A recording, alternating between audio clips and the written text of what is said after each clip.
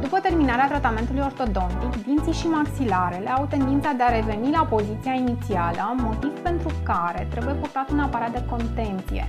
Gutiera de contenție este reprezentată de o folie de plastic transparentă, invizibilă, rigidă, care se mulează perfect pe dinți, împiedicându-i să se deplaseze. Gutiera nu se poartă în timpul mesei, se spală cel puțin o dată pe zi cu periuța de dinți moale, apă și săpun lichid. În perioadele de pauză, când nu este purtată, se păstrează în cutiuța special destinată acestui scop, niciodată în șervețel, deoarece există riscul de a fi aruncate la gunoi. Retainerul colat este reprezentat de o sârmă lipită pe interiorul celor șase dinți frontali inferior, incisivii și caninii.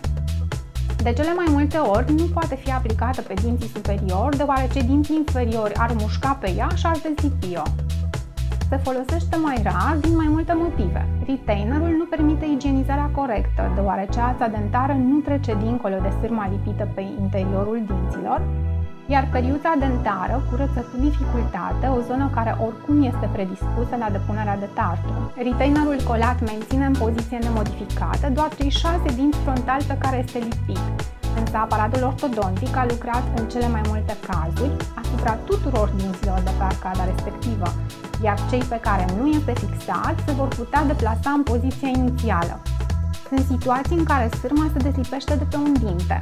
Dacă pacientul mușcă cu mai multă forță dintr-un aliment dur, materialul de lipit sare, pacientul nu simte, iar dintele se deplasează și nu mai poate fi readus în poziție corectată decât prin aplicarea unui nou aparat fix sau unei serii de gutiere.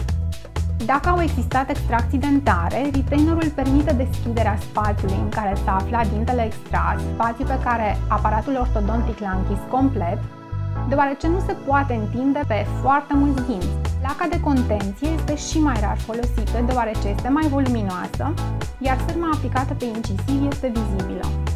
Pacientul revine la controle periodice, iar pentru orice problemă dentară contactează medicul. Seriozitatea cu care pacientul respectă aceste reguli asigură succesul tratamentului ortodontic pe termen lung și păstrarea unui zâmbet desăvârșit.